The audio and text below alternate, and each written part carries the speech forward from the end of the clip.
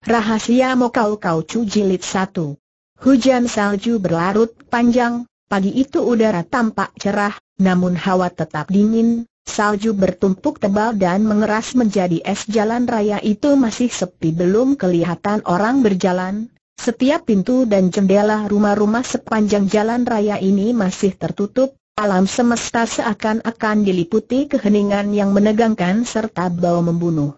Dengan mengenakan mantel kulit rase tebal, Tong Tong San duduk di atas kursi besar yang dilembari kulit harimau di ujung jalan raya, matanya memandang lurus ke jalan raya di hadapannya Nan Sunyi Beku, dalam hati dia bersorak gembira. Dia amat puas karena perintahnya dilaksanakan dengan baik. Jalan raya ini tertutup untuk penduduk, kini dia jadikan sebagai medan laga, dalam jangka setengah jam, dia sudah siap mencuci tumpukan salju yang mengeras itu dengan cucuran darah lotoh dari Saek. Detik-detik yang ditunggu menjelang datang, jika ada orang, peduli siapa dia beranjak di jalan raya ini, maka orang itu harus dibunuh. Meski hanya kakinya saja yang menginjak jalan raya ini, maka kaki itu harus dipotong. Kota ini miliknya, Siapa pun jangan harap bercokol di tanah kekuasaannya, demikian pula lotoh dari Sae pun. Kecuali Wipet Taya, siapa pun jangan harap bisa menghalangi kemauannya. Puluhan laki-laki tegak berpakaian ketat siap siaga, berdiri jajar di belakangnya, tangan lurus, muka beringas diliputi hawa membunuh. Di kanan kiri Tong Tong San terdapat dua kursi besar pula. Seorang pemuda bermuka pucat, bersifat congkak dan dingin, duduk bermalas-malasan di kursi kiri, tubuhnya berselimut kulit bulu panjang warna kelabu, harganya ribuan tahil emas, jari kelingkingnya menggantol sebilah pedang panjang yang dihiasi jamrut dan permata kemilau, bersarung hitam, pedang diobat-abitkan pemuda ini merasa tugas yang harus dia selesaikan terlalu membosankan, karena dia merasa kurang setimpal turun tangan terhadap lawan sejenis lotoh dari Sae ini. Orang di sebelah kanan berusia lebih muda, dengan sebatang Yan Ling yang kemilau, dia sibuk membersihkan kuku jarinya. Kelihatan dia pura-pura tenang, namun wajahnya yang menampilkan watak kanak-kanak kelihatan merah lantaran tegang dan emosi. Tong Tong San memahami perasaan pemuda ini. Waktu pertama kali dia menjalankan tugas yang diperintahkan Wit Pataya dulu, demikian pula keadaannya. Tapi dia tahu kalau pemuda ini berjajar nomor 12 di antara Caps Hataipo dalam perguruan Wipet Taya. Yan Ling Chu yang selalu dibawanya itu pasti takkan mengecewakan orang. Memang Caps Hataipo asuhan Wipet Taya selama ini belum pernah mengecewakan orang. Tiba-tiba seekor anjing kurus berlari mencawat ekor dari ujung lorong di bawah tembok sana melintas jalan raya. Pemuda bermuka tahilalat mengawasi anjing yang berlari di jalan itu, wajahnya menampilkan mimik aneh, pelan-pelan tangan kiri merogoh ke saku, mendadak tangannya terayun ke depan. Sinar putih pelan berkelebat secepat kilat, tahu-tahu anjing itu mampus terpantek di jalan raya. Sebilah golok pendek kecil menembus tenggorokannya, darahnya mengalir membasahi salju, kelihatan merah menyolok. Menyala semangat Tong Tong San, dia berseru memuji, bagus, cepat benar Cap Jite turun tangan, pemuda itu amat puas akan buah karyanya, katanya angkuh, Tong Lotoa sudah memberi perintah, peduli manusia atau anjing, asal keluyuran di jalan raya ini, Aku tahu Ancap Ji pasti akan merenggut jiwanya, Tong Tong San mendungak tertawa gelak-gelak, serunya, ada Sin Sute dan Cap Ji Long yang gagah perkasa di sini, jangan hanya seorang lotoh saja, umpama sekaligus datang sepuluh, kita pun tak perlu takut, Sin Su justru menanggapi dengan sikap dingin, hari ini tiada giliranku turun tangan. Pedang yang kontal kantil di ujung jari kelingkingnya tiba-tiba berhenti, demikian pula gelak tawa Tong Tong San sirap seketika. Dari ujung jalan sebelah sana, muncul serombongan orang dengan melangkah cepat mendatangi. Jumlahnya tiga puluhan orang, semua mengenakan seragam hitam, baju pendek celana kencang, kakinya mengenakan sepatu tinggi, langkah mereka berderap serempak di atas salju. Yang terdepan adalah seorang laki-laki bermata besar beralis tebal, kulit mukanya gosong dan tebal serta ulet.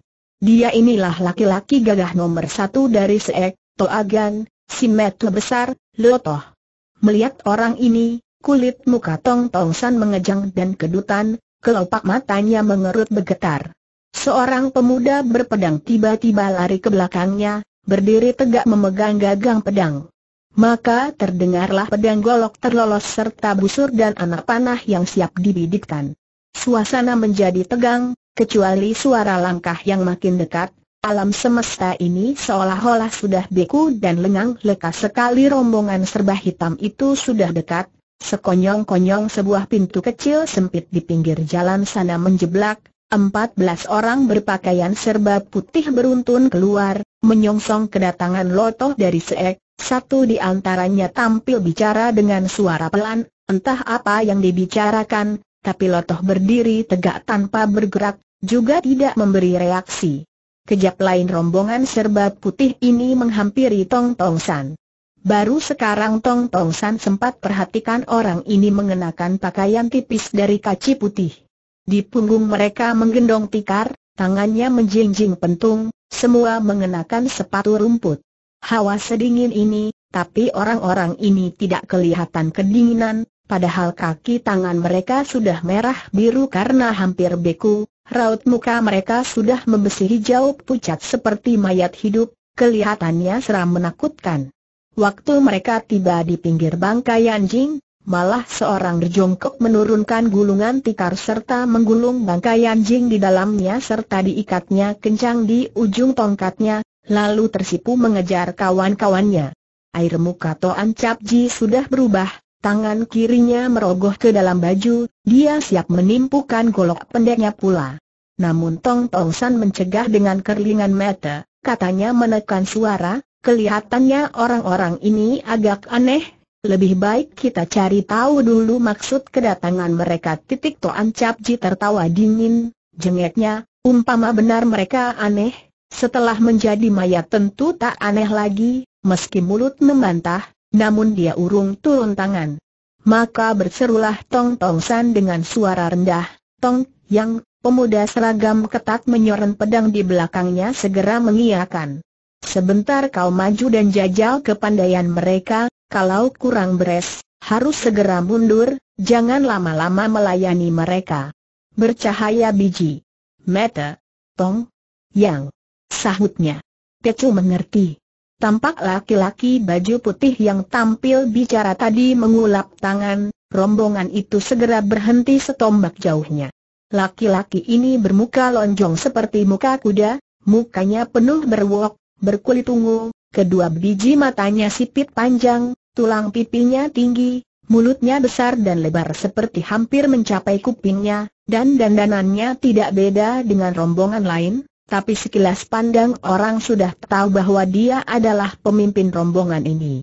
Dengan tatapan tajam Tong Tong San awasi muka orang, mendadak bertanya, siapa nama besar Tuan Bak Pek? Sahut orang itu. Datang dari mana? Dari Cheng Seng untuk apa? Kemari semoga pertumpahan darah dapat dicegah dan damailah abadi, sahut Bak Pek dingin. Mendadak Tong Tong San terloroh-loroh, serunya, jadi saudara hendak memisah perkelahian begitulah maksud. Baik kami memangnya kau mampu dan setimpal jadi pemisah muka Bakpet tidak menampilkan perasaan apa-apa, agaknya dia ogah bicara lagi. Tong yang sebaliknya sudah amat gatal, segera ia maju ke depan, bentaknya bengis, mau memisah gampang, kau tanya dulu pedang di tanganku ini mau dipisah tidak. Sereng, tiba-tiba tangannya terbalik, pedang sudah terlolos dari serangkanya. Jangan kata meladeni, melirik pun Bak Pek tidak kepadanya, dari belakangnya tampil seorang anak laki-laki serba putih bertubuh kecil, usia orang ini baru 4-15 tahun, jadi masih bocah.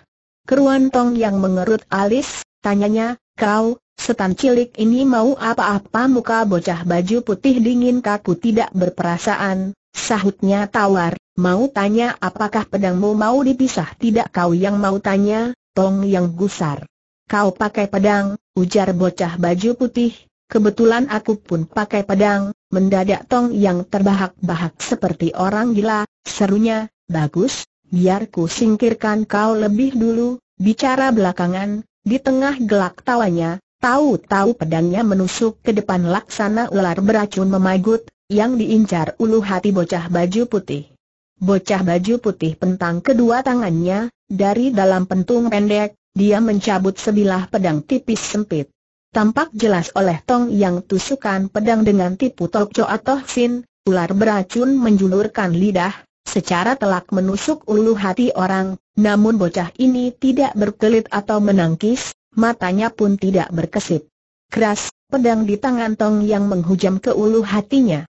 Darah segar munkrat beterbangan, namun saat itu juga pedang di tangan si bocah baju putih bergerak dengan tipu yang sama. Bles, dengan telak menusuk di ulu hati Tongjang. Sekonyong-konyong seluruh gerakan berhenti, deru napasnya pun tertahan. Gebrakan ini berlangsung amat cepat pula.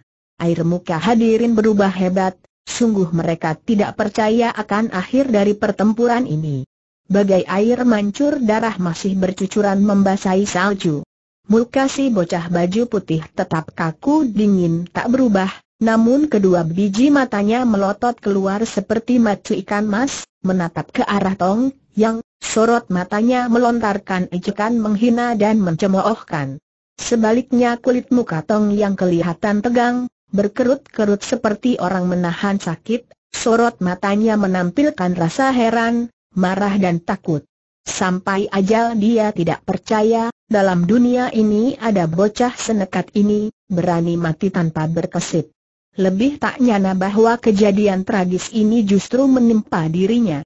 Sudah tentu mati pun dia penasaran keduanya masih beradu pandang, lambat laun sorot mata kedua orang makin pudar, kosong dan tak bercahaya lagi, lalu keduanya terjungkal roboh. Seorang laki-laki baju putih muncul dari rombongan belakang, dia turunkan gulungan tikar, lalu dibungkusnya mayat bocah itu serta diikat dengan tali panjang serta digantung di ujung tongkatnya, pelan-pelan dia balik ke dalam barisannya. Muka orang ini tetap dingin dan kaku seperti temannya yang membereskan bangkai anjing tadi. Angin kencang tiba-tiba menghembus datang dari kejauhan, hawa terasa lebih dingin tapi semua laki-laki yang berdiri di belakang Tong Tong San mencucurkan keringat dingin, telapak tangan pun basah kuyup. Mbak Pek menatap Tong Tong San, katanya tawar, apakah Chuan sudah mau damai Toan Cap Ji tiba-tiba melompat ke depan, bentaknya bengis, kau tanya dulu goloku, seorang laki-laki baju putih kembali tampil dari belakang Bak Pek. Katanya, biar aku yang tanya, kau pun menggunakan golok, Tanya Toan Cap Ji. Benar, sahut laki-laki baju putih. Begitu tangannya terkembang, dari tongkat pendeknya dia keluarkan sebilah golok. Baru sekarang Toan Cap Ji sempat perhatikan, tongkat pendek yang mereka bawa beraneka bentuknya, ada yang lebar, tipis, ada yang bundar atau gepeng, jelas di dalamnya menyimpan berbagai senjata yang berlainan. Kalau lawan menggunakan pedang, mereka menghadapi dengan pedang, demikian pula kalau musuh pakai golok, mereka pun gunakan golok. Toan Kepji tertawa dingin, jengeknya, baik, kau lihat golokku ini, tubuhnya bergerak setengah lingkar, tahu-tahu Yan Ling Tu menyambar dengan suara menderu kencang membabat ke pundak kiri laki-laki baju putih. Ternyata laki-laki baju putih tidak berkelit tidak menghindar, golok di tangannya berbareng bergerak dengan jurus lipik Hoasan, berdiri membelah gunung Hoasan, goloknya pun membabat pundak kiri Toan Cap Ji. Tapi tingkat kepandaian Toan Cap Ji lebih tinggi dari Tong, yang kelihatannya jurus serangannya sudah dilancarkan sepenuhnya, namun laksana kuda berhenti di ambang jurang, Badan berputar kaki menggeser sekaligus tajam goloknya ikut berputar balik, dari gerak delapan penjuru yang mengandung serangan golok, mendadak berubah terbalik memukul gentamas, sinar goloknya yang kemilau laksana biang lala membelah dada laki-laki baju putih. Tak nyana laki-laki baju putih pun laksana menghentikan kuda di ambang jurang, dari gerakan delapan penjuru mengandung serangan, golok berubah terbalik memukul gentamas. Walau gerakannya sedikit terlambat, tapi jikalau Toan Cap Ji tidak lekas merubah gerakannya, umpama dia membelah lawannya, jiwa sendiri pun takkan selamat. Kalau laki-laki baju putih tidak hiraukan mati hidupnya, dia justru masih ingin hidup. Waktu melancarkan serangannya ini, sebelumnya sudah siaga menghadapi segala perubahan. Mendadak mulutnya bersiul nyaring, kedua tangan terkembang dan menggetar, badannya melambung ke tengah udara, waktu menukik turun, goloknya membacok leher laki-laki baju putih dari kiri. Kali ini dia menyerang dari atas, jelas kedudukannya lebih menguntungkan, seluruh badan laki-laki baju putih sudah terkurung di dalam sinar goloknya, Bukan saja tak mampu merubah permainan, untuk menyelamatkan diri pun tak mungkin lagi. Tapi orang baju putih memang tidak mau berkelit. Dikala golok Toan Cap Ji membabat leher, golok lawan pun menusuk lambung Toan Cap Ji. Golok tiga kaki itu amblas seluruhnya, tinggal dagangnya yang masih terpegang. Keruan Toan Cap Ji memekik bagai guntur menggelegar, Badannya yang kekar meluncur tegak bagai roket yang meninggalkan landasan setinggi dua tombak. Darah segar munkrat bagaikan hujan lebat, membasahi sekujur badan laki-laki baju putih. Mukanya tetap dingin kaku tak berperasaan. Setelah Toan Capji terbanting jatuh dari tengah udara, baru dia ikut terjungkal roboh. Keruan berubah hebat muka Tong Tong San, Bergegas dia melompat bangun, bentaknya beringas, ilmu silat macam apa itu? Memangnya ini bukan ilmu silat, sahut Bak Pek Tawar. Lalu terhitung apa hanya sebagai peringatan belaka, peringatan-peringatan ini memberitahu kepada kita, jikalau kau bertekad membunuh orang, orang pun akan membunuh Musin Su tertawa dingin, kukira belum tentu, jengeknya.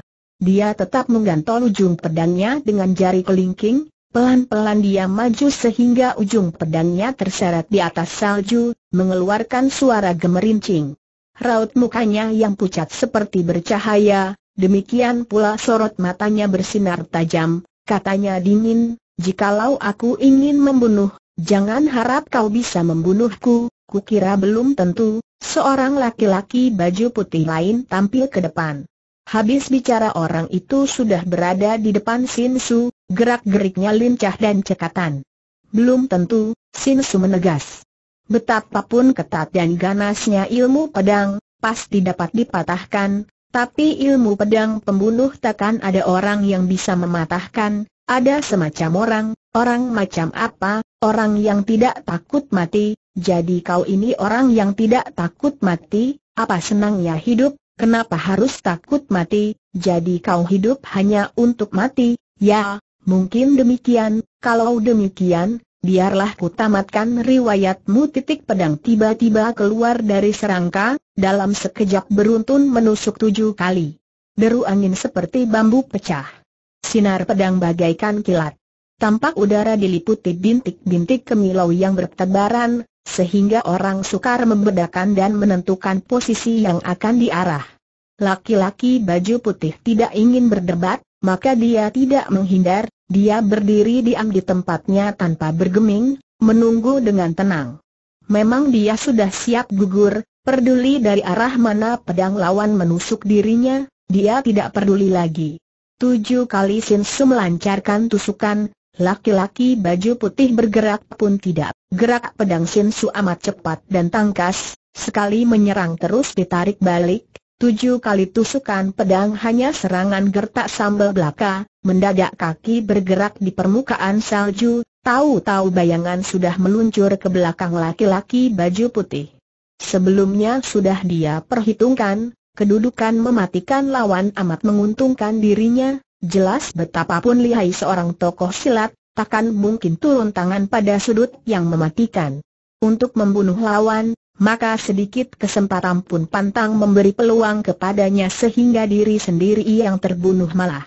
Maka tusukan gertak sambal terakhir menjadi tusukan yang sesungguhnya, sinar pedang laksana kilat menusuk ke punggung laki-laki baju putih. Terdengar keras, ujung pedang yang tajam itu berbunyi masuk ke dalam kulit daging. Sin Su merasakan ujung pedang amblas menyentuh tulang di badan lawan. Tapi pada saat itu pula, dia melihat tusukan pedangnya tidak amblas di punggung orang, namun menusuk dada. Karena pada saat tusukan hampir mengenai sasaran, Tiba-tiba laki-laki baju putih membalikan badan, dengan dadanya dia sambut tusukan pedang Sinsu. Takkan ada orang menduga kejadian ini, siapa pun takkan mau menggunakan badan sendiri untuk menahan tusukan pedang. Tapi kenyataan laki-laki baju putih ini pakai badan sendiri sebagai tameng. Keruan berubah muka Sinsu, sekuatnya dia menarik pedang, sayang ujung pedang terjepit di sela-sela tulang iga lawan dengan kencang. Waktu dia menarik pedangnya, pedang laki-laki baju putih juga sudah menusuk dirinya tanpa bersuara sedikit pun, tak ubahnya seperti seorang gadis yang gemulai lembut menancapkan sekuntum kembang mekar ke dalam botol, maka pedang itu amblas ke dadanya. Rasa sakit tidak terasakan lagi olehnya, hanya dadanya tiba-tiba dingin, kejap lain sekujur badan menjadi dingin kaku bagai kelopak kembang merah berhamburan darah munkrat dari luka-luka mereka. Berdiri berhadapan, kau pandang aku, aku pandang kau. Laki-laki baju putih tidak mengunjuk perasaan apa-apa, sebaliknya muka Sinsu berkerut kaget dan ketakutan. Walau ilmu pedangnya jauh-jauh lebih tinggi, meski serangannya jauh lebih lihai dari Tong, yang, namun akhirnya gugur bersama. Babak ini berakhir begitu saja. Tong Tong San berjingkrak berdiri, namun selekasnya dia melosot jatuh duduk pula dengan lemas, selebar mukanya pucat pias. Bukan dia tidak pernah melihat orang dibunuh, tapi selamanya tak pernah terpikir olehnya, membunuh orang ternyata begini ganas dan mengenaskan, begitu menakutkan. Membunuh dan dibunuh sama-sama keji dan menakutkan. Bak Pek menatapnya lekat-lekat, katanya dingin, Jikalau kau ingin membunuh orang, orang lain pun akan membunuhmu pula, pelajaran ini tentu sudah dapat kau insyafi sekarang, pelan-pelan Tong Tong San manggut-manggut, sepatah kata pun tak bicara, karena tiada yang perlu dia katakan. Oleh karena itu, kau pun harus mengerti, demikian ujar Bakpe lebih lanjut, membunuh dan dibunuh sama-sama menderita, Tong Tong San percaya dan mengakui, Menghadapi kenyataan ini terpaksa dia harus percaya. Lalu kenapa kamu masih ingin membunuh orang? Tanya Baktek. Terkepal kencang tinju Tong Tong San, katanya tiba-tiba, aku hanya ingin tahu, kalian bertindak demikian apa maksudnya? Tiada maksud apa-apa. Apakah lotoh yang memanggil kalian kemari? Bukan, aku tidak kenal kau, aku pun tidak kenal lotoh tapi, kalian tidak segan-segan berkorban bagi mereka. Bukan, kami rela gugur demi kepentingannya, kita mau mati, supaya orang lain hidup, dipandangnya mayat-mayat yang bergelimpangan, lalu berkata pula, ketiga orang ini memang sudah mati, tapi puluhan jiwa orang lain akan bertahan hidup lantaran kematian mereka. Apalagi sebetulnya mereka tak perlu mati. Tong Tong San menatapnya dengan kaget, katanya, apa benar kalian dari Cheng Seng kau tidak percaya Tong Tong San memang tak percaya, dia menduga orang-orang ini datang dari neraka. Tidaklah pantas dalam dunia fana ini ada manusia seperti mereka. Kau sudah terima-terima apa merubah banjir darah menjadi damai tentram, mendadak Tong Tong San menghela napas, katanya, sayang sekali umpama aku mau terima toh tak berguna, Kenapa? Karena masih ada seorang lain yang tak mau terima, siapa Wipet Taya, bolehkah suruh dia mencari aku, ke mana mencari musorot metubak yang dingin terjun ke tempat jauh, lama sekali baru dia berkata pelan-pelan, di dalam kota Tiangan, kembang BWE di dalam Leng Hiang Wan, tentu sekarang sudah mekar, jikalau hati Wipet Taya sedang riang, selalu mengulum senyum, menepuk pundakmu, mengucapkan kata-kata lucu yang dia anggap jenaka dan menyenangkan. Tapi bila dia sedang marah, dia pun berubah seperti orang-orang marah lainnya. Raut mukanya yang bersemu merah bercahaya, mendadak berubah bengis laksana singa yang kelaparan.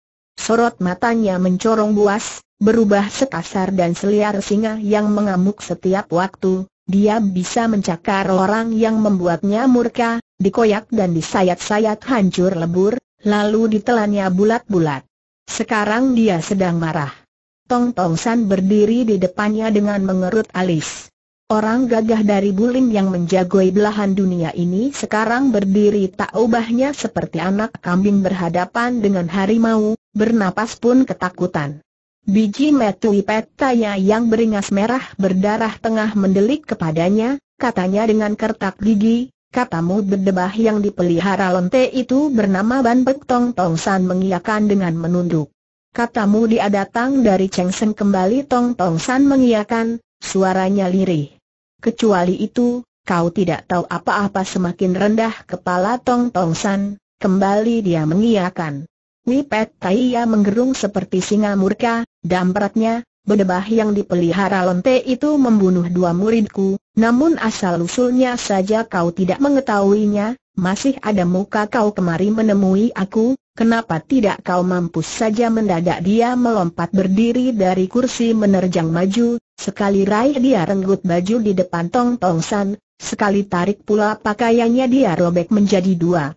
Disusul telapak tangannya melayang pulang pergi, dia tampar muka Tong Tong San bolak-balik tujuh delapan belas kali. Darah sudah meleleh dari ujung mulut Tong Tong San, tapi kelihatannya dia tidak merasa sakit, juga tidak merasa marah atau penasaran, sebaliknya mengunjuk mimik senang dan tentram lega. Karena dia tahu bila Wipet Taiya menghajarnya dengan kejam, memakinya semakin garang, itu pertanda bahwa orang menganggapnya sebagai orang sendiri, dan itu berarti pula bahwa jiwanya dipungut kembali.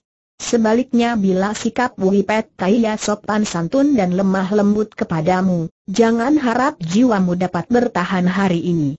Setelah tamparan pulang pergi, Wipet Kaya masih menambahkan sekali tendang lagi pada perutnya, sehingga dia menungging kesakitan, namun Tong Tong San sedikit pun tidak mengeluh atau berani banyak tingkah, padahal darah bercucuran dari mulut dan hidungnya, keringat dingin gemerobios membuatnya tele-tele. Akhirnya Wipet Taiya menghela napas, serunya murka sambil mendelik, tahukah kau, Xiao Sucu, maksudnya Sin Su, dan lain-lain ku perintahkan untuk bantu kau membunuh orang aku tahu. Tersipu-sipu Tong Tong San menjawab, Kini mereka justru terbunuh orang, dan kau masih segar bugar berlompatan ke hadapanku. Kau ini terhitung barang apa aku ke sini bukan barang, tapi aku harus kembali ke sini, kau berdebah, kau berani kembali? Memangnya kau tidak bisa menjawab ekor lari ke tempat jauh, supaya aku orang tua tidak marah melihat congormu aku juga tahu kau orang tua pasti marah, oleh karena itu terserah kau orang tua, mau hajar atau mau bunuh, aku tidak akan banyak komentar, tapi jikalau aku harus mengkhianati kau orang tua atau melarikan diri, mati pun aku tidak sudi. Lama Wipet yang mendelik, mendadak tertawa terbahak-bahak, serunya, bagus, punya pambek, lalu diulur kedua tangannya memeluk pundak Tong Tong San, katanya lantang, coba kalian lihat, Inilah putraku yang sejati, kalian harus belajar dan meniru padanya, memangnya kenapa harus takut berbuat salah? Memangnya nenek moyang siapa yang tidak pernah berbuat salah selama hidupnya, sampai aku Tian Bing juga pernah berbuat salah, apalagi orang lain? Begitu dia tertawa, perasaan tertekan puluhan orang yang hadir dalam ruang pendopo itu menjadi lega dan longgar. Berkata Witian Bing, di antara kalian siapa yang tahu barang apa sebenarnya berdebah yang bernama Ban Pek itu? Jelas ucapannya ditujukan kepada seluruh hadirin, namun sorot matanya hanya menatap ke muka seorang saja orang ini bermuka putih, dua jalur jenggot kambing menghias dagunya, kelihatannya sopan santun, lemah lembut dan ramah tamah pula. Orang yang tidak mengenalnya, takkan tahu bahwa pemuda pelajar ini ternyata adalah tokoh penting yang paling lihai di antara sekian banyak murid-murid Wipet Taya, golongan hitam atau aliran putih ketakutan bila mendengar nama julukannya Ti Cui Hontin. Pemuda pelajar ini memang mirip Ti Cui Chu, bor besi, betapapun keras kerangka milikmu, dia tetap bisa mengebormu sampai bolong. Tapi selintas pandang orang akan mengira dia seorang supel, suka bersahabat dan bersikap lembut, wajahnya selalu dihiasi senyum manis yang tentram damai, namun bicara pun kalem dan tenang serta mantap. Setelah pasti tiada orang lain yang menjawab pertanyaan ini, baru dia bersuara pelan-pelan. Beberapa tahun yang lalu, terdapat satu keluarga sibak. Karena menghindari bencana, maka mereka lari dan menyembunyikan diri ke Cheng Seng San. Bak Pek adalah salah satu anggota keluarga si Bak itu, Witian Bing tertawa pula, matanya mengerling ke empat penjuru, katanya tertawa gelak-gelak, memangnya sering ku katakan, kejadian dalam dunia ini tiada yang tidak diketahui bocah ini, Hantin tersenyum, ujarnya, tapi aku tidak tahu di tempat mana mereka menyembunyikan diri di Cheng Seng San itu, selama beberapa tahun ini, belum pernah ada orang yang menemukan tempat persembunyian mereka, namun setiap tiga atau lima tahun, mereka pasti keluar. Sekali berombongan. Untuk apa mereka keluar, tanya Witian Bing. Mencampuri urusan orang lain, sahut Hantin. Seketika Witian Bing menarik muka, Selamanya dia paling benci pada orang yang suka usil mencampuri urusan orang lain. Mereka dipaksa mencampuri urusan orang lain, demikian Hantin melanjutkan uraiannya. Karena mereka mengagulkan sebagai keturunan bakti. Anak murid keluarga bak turun-temurun tidak diperbolehkan menjadi pertapa yang mengasingkan diri hanya mengurus diri sendiri belaka, berkerut alis Witian Bing, katanya, Barang apa pula bakti itu bakti bukan barang, dia pun seorang manusia, sahut Hontin tawar. Wi Tianbing malah tertawa mendengar penjelasan itu, seperti kebanyakan orang yang dipanggil Taya, cuan besar, ada kalanya dia pun senang bila ada orang mendebat dan membantah omongannya. Hantin berkata lebih lanjut, Bakti adalah bakcu, keluarga Bak memangnya sering mempersulit generasi mendatang, Sampai pun jiwa seseorang takkan gentar menghadapi kobaran api atau lautan golok, oleh karena itu keturunan keluarga Bak dilarang menjadi orang pengasingan, tapi mereka diharuskan menjadi gisu, manusia berani mati, Hantin tertawa, sahutnya, gisu ada terbagi beberapa macam. Ada semacam gisu, apa yang dilakukan kelihatan gagah perwira, tapi Bak bergerak secara sembunyi-sembunyi, Agaknya dia mempunyai maksud tertentu, jadi, kau golongkan bakpek pada gisu macam ini kelihatannya begitu, gisu semacam ini gampang dihadapi, dihadapi bagaimana bunuh satu kurang satu, mereka tak boleh dibunuh. Kenapa tidak boleh dibunuh seperti kuncu, sosiawan, peduli gisu itu tulen atau palsu, dia tak boleh dibunuh. Witian Bing tertawa tergelak-gelak, katanya, benar, jikalau kau membunuh mereka, Pasti ada orang mengatakan kau ini seorang yang tak berbudi, tidak kenal cinta kasih dan tidak tahu diri, oleh karena itu mereka tidak boleh dibunuh, memang tidak boleh. Siapa bilang hendak membunuh mereka, biar ku bunuh dia lebih dulu, apalagi bukan kerja gampang untuk memberantas mereka memang bebah itu boleh juga sosok dari orang-orang itu mungkin tidak menakutkan, yang harus ditakuti adalah jago-jago berani mati yang dipimpinnya itu, jago-jago berani mati. Apa maksudnya? Tanya Witian Bing tidak mengerti. Maksudnya bahwa orang-orang itu setiap waktu siap berkorban demi kepentingannya, memangnya mereka tidak ingin hidup orang yang tidak pikirkan mati hidup sendiri justru merupakan musuh yang paling menakutkan. Ilmu silat yang berani mati adalah ilmu silat yang paling menakutkan pula, Witian Bingdam saja, dia menunggu penjelasan lebih lanjut. Karena sekali tabas kau membunuhnya, dia pun akan membunuhmu dengan sekali tabasan pula, agaknya Witian Bing kurang puas akan penjelasan ini, alisnya berkerut. Lekas Hantin menambahkan, walau kau lebih cepat turun tangan dari dia, tapi dikala kau membunuhnya, dia masih sempat membalas membunuhmu, karena begitu golokmu membacok, Hakikatnya dia tidak berkelit, juga tidak berusaha menghindar, oleh karena itu pada saat kelolokmu membacok badannya, dia masih punya waktu untuk membunuhmu, tiba-tiba Witian Bing maju mendekat, dengan keras dia tepuk pundak orang, katanya, uraian bagus. Uraian masuk di akal, Hantin mengawasinya saja tanpa bersuara, sekilas pandang, dia sudah mengerti maksudnya. Kalau bukan musuh yang harus diberantas, maka dia termasuk kawan sendiri, harus dirangkul. Ini bukan saja merupakan prinsip bagi Witian Bing, sejak zaman dahulu kala, seluruh keluarga besar atau pentolan bulim berkuasa mempunyai prinsip yang seperti ini. Bagi orang-orang seperti mereka, prinsip ini jelas jitu dan tak terkalahkan. Tong Lotoa pernah bilang, Hantin berkata lebih lanjut, mereka hendak pergi ke kota Tiangan, Witian Bing manggut-manggut, katanya, kabarnya Leng Hiang Lan adalah sebuah tempat bagus, sejak lama aku sudah ingin berkunjung ke sana, Leng Hiang Wan merupakan sebidang tanah luas beberapa hektar, di dalam taman tertanam laksaan pucuk kembang BWE, sekarang sedang musimnya kembang BWE mekar, karena itu. Oleh karena itu bagaimana, Witian Bing menegas.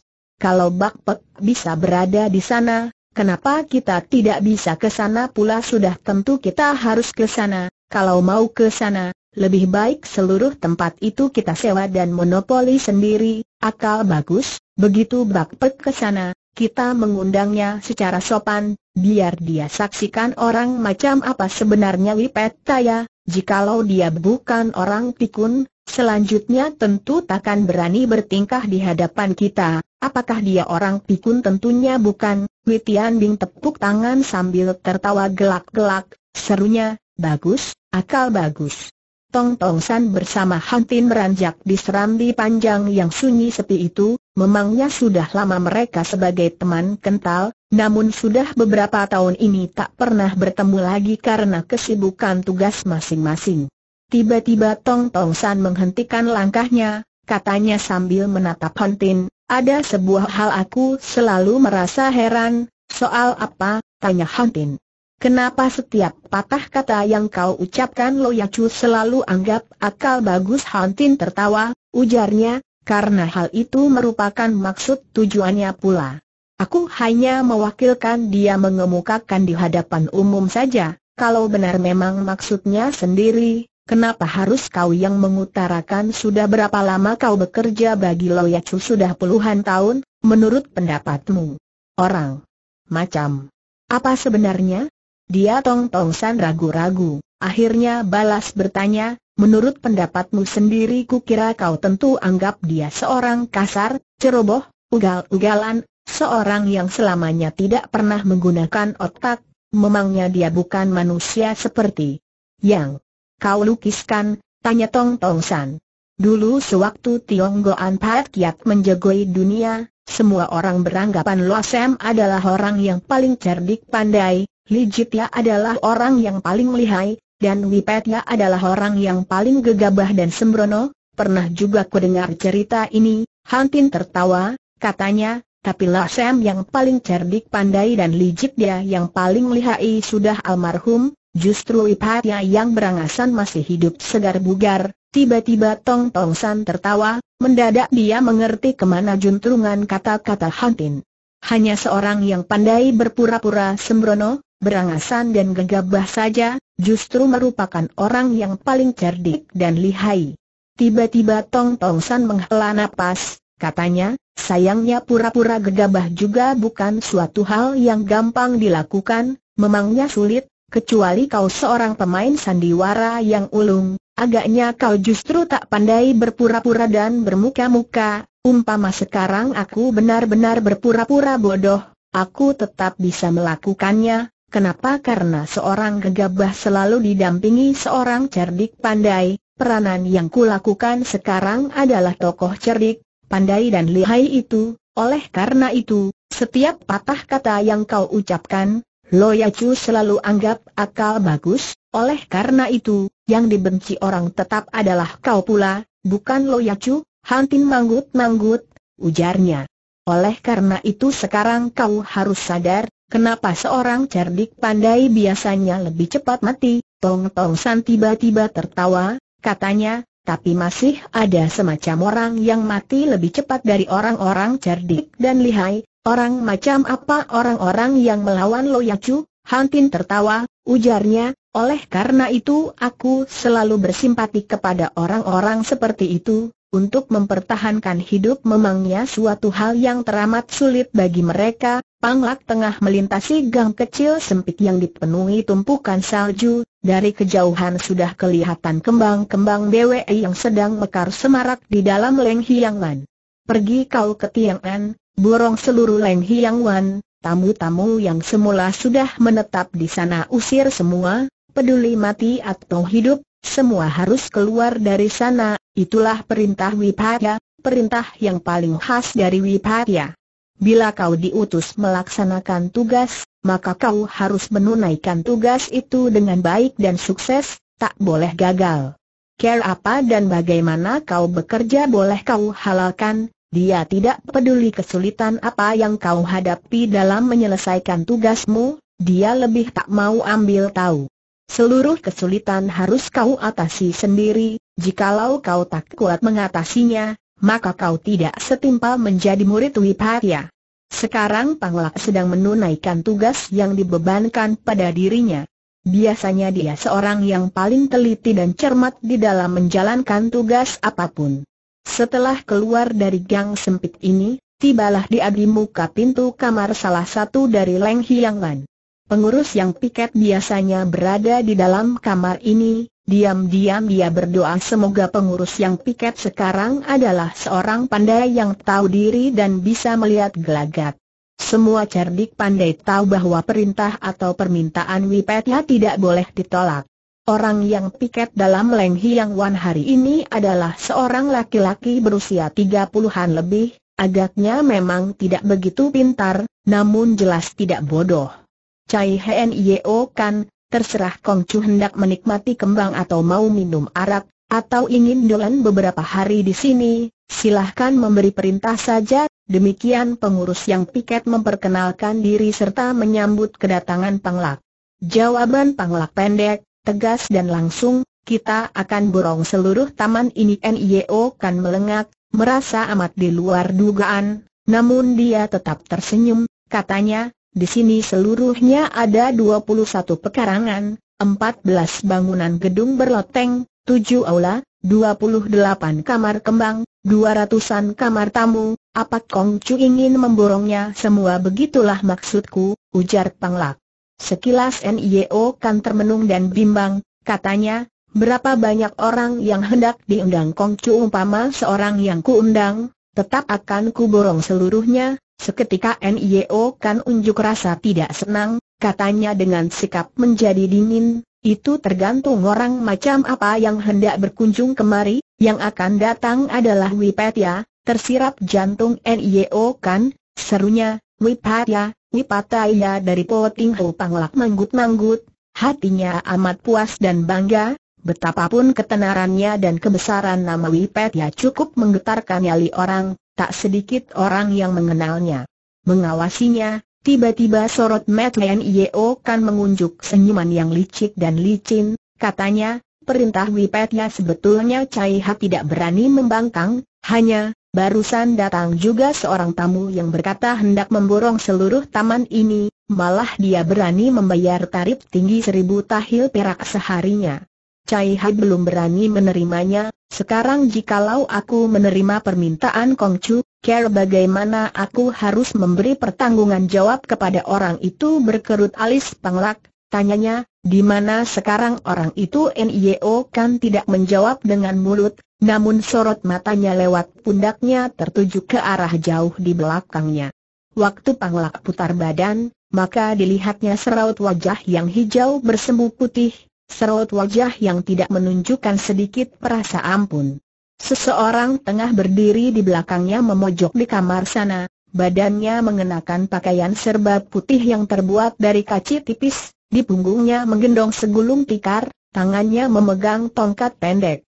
Waktu Panglak masuk tadi tidak melihat orang ini, kini orang ini pun seperti tidak melihat kehadirannya, Sepasang biji matanya yang dingin bening sedikit pun tidak menampilkan perasaan apa-apa, seolah-olah menatap ke tempat nan jauh seolah-olah semua manusia, segala urusan dalam dunia ini, tiada satu pun yang terpandang dalam matanya, yang diperhatikan agaknya hanya udara kosong di tempat nan jauh dan tidak menentu itu, hanya di sana baru dia benar-benar berhasil mendapatkan suatu tempat yang tenang dan tentram.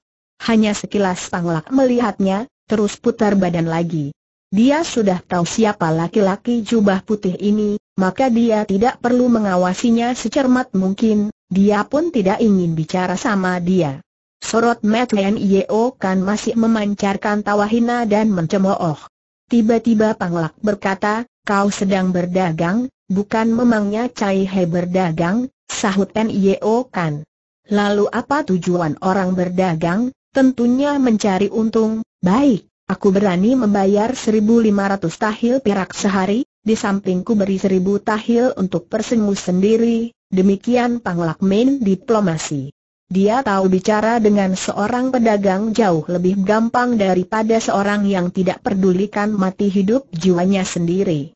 Selama bertahun-tahun bekerja bagi Wipata, dia sudah berpengalaman untuk care bagaimana memberi keputusan dan memilih jalan yang terbaik dalam menempuh keberanian kerjanya.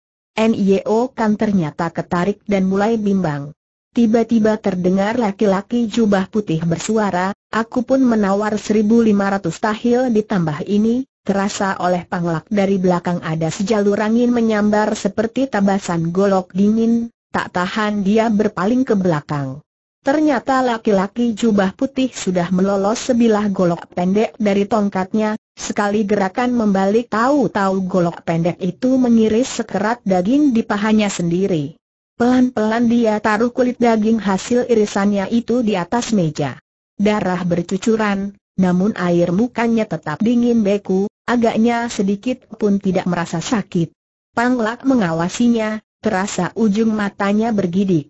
Lama sekali baru dia berkata dengan kalem, tarif setinggi ini aku pun mampu membayarnya, sekilas sinar mata dingin laki-laki jubah putih mengerling kepadanya, lalu memandang canang ke depanan jauh. Pelan-pelan Panglak keluarkan sebilah pisau, dia pun mengiris sekerat daging di pahanya sendiri. Dia mengiris pelan-pelan, amat hati-hati dan teliti. Peduli apa pun yang dia kerjakan, biasanya memang teliti dan seksama. Bahwa kulit daging sendiri diiris tentunya sakit bukan buatan, namun perintah Wipetya jikalau tidak terlaksana, maka siksaan yang dia alami jauh lebih menderita. Agaknya putusan dan jalan yang dia tempuh memang tepat atau mungkin memang dia tiada kesempatan atau tiada peluang main pilih segala. Dua kerat daging paha yang berlepotan darah ditaruh di atas meja. Jantung NIO kan sudah berdegup, seluruh badan merasa lemas sekilas laki-laki jubah putih melirik kepada panglak, tiba-tiba golok pendeknya berkelebat, tahu-tahu dia tabas sebuah kupingnya sendiri. Terasa oleh panglak lengannya sendiri sudah kaku dan gemetar. Dia pernah memotong kuping orang, waktu itu dia merasa senang dan terhibur meski dia tahu caranya itu agak keji, tapi memotong kuping sendiri merupakan suatu hal yang lain. Sebetulnya dia bisa main pisaunya untuk bunuh laki-laki jubah putih ini, namun peringatan Hontin selalu terngiang di dalam benaknya. Walau kau turun tangan cepat, namun dikalau kau berhasil membunuhnya, dia pun masih sempat membalas membunuhmu, setiap orang yang cermat dan hati-hati selalu sayang pada jiwa raganya sendiri dan Panglak adalah orang yang paling teliti. Pelan-pelan dia angkat kepalanya, lalu dipotongnya sebelah kupingnya, gerak-geriknya pelan-pelan dan hati-hati.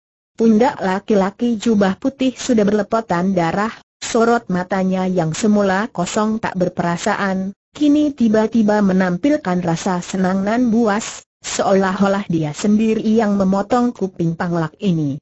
Dua kuping yang terpotong terletak di atas tanah. NIO kan sudah tak kuasa berdiri lagi. Mengawasi darah segar yang bertetesan dari kuping panglak, laki-laki jubah putih berkata dingin, apakah kau masih berani menawar setinggi ini? Mendadak dia ayunkan golok pendeknya pula, membacok pergelangan tangan kirinya. Hati Panglak serasa ikut terayun mengikuti sambaran golok orang pada saat itu mendadak terasa angin menghembus lalu, hembusan angin yang membawa serangkum bau wangi aneh. Di susul ujung matanya lantas melihat bayangan seorang. Seorang perempuan. Terkesima mata Panglak, belum pernah dah melihat perempuan secantik ini selama hidupnya. Bayangan orang melayang tiba, seolah-olah di bawah hembusan angin lalu. Waktu laki-laki jubah putih melihat gadis ini, tahu-tahu dia merasa siku tangan kanannya yang memegang golok tersanggah oleh lengan orang. Orang tengah tersenyum manis kepadanya, tawanan hangat dan genit, demikian pula suaranya merdu dan manis mesra. Golok membacok daging orang rasanya sakit sekali, ini bukan kulit dagingmu, jengek laki-laki jubah putih. Gadis cantik itu berkata lembut, walau bukan badanku sendiri, hatiku pun ikut sakit. Jari-jarinya nan runcing halus tiba-tiba mengebas seperti seorang kekasih yang memetik sekuntum kembang dari vas kembang. Sekonyong-konyong laki-laki jubah putih merasa golok di tangannya sudah berpindah ke tangan orang. Golok cepat yang terbikin dari baja murni, tipis dan tajam luar biasa. Jari-jarinya begitu runcing dan lembut, hanya sekali potes dan pelikung seperti gadis sayu memetik kembang, terdengar peletak, golok cepat tipis terbuat dari baja murni itu tahu-tahu sudah diatekan putus dengan enteng. Apalagi tempat ini sudah kuborong seluruhnya, buat apa kalian masih bersitegang di sini? Demikian katanya. Lebih lanjut sembari bicara tahu-tahu potongan ujung golok yang terbuat dari baja murni itu dia jepit dengan dua jari terus diangsurkan ke mulutnya, pelan-pelan dikunyah terus ditelannya mentah-mentah. Maka tampak wajahnya nan cantik seketika menampilkan rasa senang dan puas, seolah-olah baru saja dia mengulum dan menikmati sebutir gula-gula yang enak sekali. Panglak melenggong. Hampir dia tidak berani akan penglihatan matanya sendiri, sampai pun sorot mata laki-laki jubah putih pun menyorotkan rasa kaget dan ketakutan. Mana mungkin dalam dunia ini terjadi peristiwa seaneh ini, ilmu silat atau lekang yang menakutkan. Memangnya dia tidak takut, besi baja yang tajam itu mengkoyak isi perutnya. Kembali gadis sayu itu memotes sekeping golok baja itu serta dimasukkan ke mulut pula terus ditelan, katanya perlahan sambil menghela napas, golokmu ini memang bagus, bukan saja terbuat dari baja murni yang berkualitas tinggi, Gemblengannya cukup matang, jauh lebih enak dan lezat dari golok yang kau makan kemarin. Setiap hari kau makan golok, tak tahan Panglak bertanya. Makanku tidak banyak, setiap hari hanya tiga batang, ketahuilah pedang dan golok mirip pula ikan dan daging, kalau terlalu banyak kau makan, perutmu bisa mules dan mangsur-mangsur, Panglak mengawasinya dengan mendolong, jarang dia bersikap linglung di hadapan gadis secantik ini, namun sekarang agaknya tidak kuasa menguasai perasaannya sendiri. Gadis cantik itu belum mengawasi dirinya, katanya pula, sebaliknya pisau di tanganmu itu rasanya tentu tidak enak lagi, kenapa? Tanya Panglak. Gadis itu tertawa cekikikan, katanya tawar, dengan pisau itu sudah terlalu banyak orang yang kau bunuh, bau anyirnya darah sudah terlalu tebal, sekilas laki-laki baju putih melirik kepada si gadis, Tiba-tiba dia putar badan lalu melangkah pergi dengan cepat. Dia tidak takut mati, namun jikalau suruh dia memotong golok baja dan menelannya bulat-bulat, jelas dia takkan mampu melakukannya. Takkan ada dalam dunia ini yang bisa melakukannya, bahwasanya kejadian ini memang luar biasa. Kembali gadis itu tertawa, katanya, agaknya dia tidak ingin rebutan dengan aku, lalu kau panglak tak bersuara, Hakikatnya dia tidak bisa berbicara lagi. Seorang laki-laki sejati, peduli apa pun yang dia perebutkan dengan perempuan, umpama akhirnya menang, juga tidak boleh dibanggakan. Coba katakan benar tidak akhirnya Panglak menghela napas, katanya, harap tanya siapakah nama besar Nona yang harum, supaya Cai Ha kembali bisa membuat laporan. Gadis itu menghela napas, katanya, Aku pun hanya seorang suruhan, tiada gunanya kau tanya namaku, gadis secantik bak bidadari ini, berkepandaian silat tinggi lagi, kiranya hanyalah budak atau pelayan orang. Memangnya orang macam apa pula majikannya? Boleh kau kembali dan beritahu kepada Wipet ya, katakan bahwa tempat ini sudah diborong seluruhnya oleh Lam Henio Chu. Jikalau dia orang tua ada waktu, boleh silahkan kemari untuk bermain beberapa hari, Lam Henio Chu, mulut Panglak mendesis. Gadis sayu itu manggut-manggut, katanya, Lam Henio Chu adalah majikanku, pulanglah dan laporkan kepada Wipatya, dia pasti tahu. Dikala Wipatya marah dan senang bagaikan langit dan bumi perbedaannya dan ini sudah terlalu sering disaksikan oleh banyak orang. Namun selama ini belum pernah mereka melihat Wipatya sedemikian tegang, begitu keheranan dan khawatir, sampai kulit mukanya yang selalu bercahaya itu berubah membesi hijau. Lam Hengyo Chu. Apakah benar dia belum mati kedua jari-jarinya terkepal, suaranya pun mengandung rasa heran dan tegang, malah seolah-olah mengandung rasa ketakutan dan ngeri. Tiada orang yang berani berisik meski hanya helaan napas panjang. Tiada yang menduga bahwa masih ada seseorang dalam dunia ini yang masih mampu membuat Wipatya takut dan bersitegang leher begitu rupa.